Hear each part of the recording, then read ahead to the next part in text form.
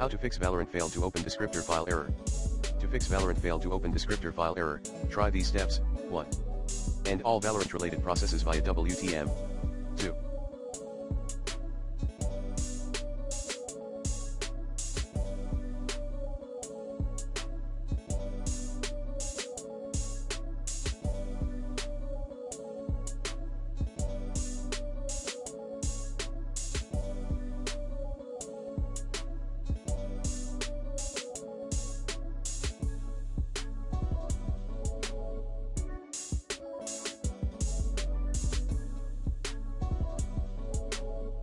Uninstall Vanguard temporarily.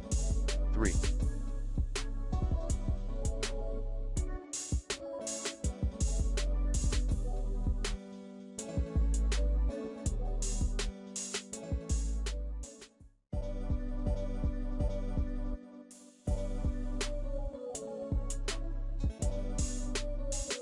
Update your Windows.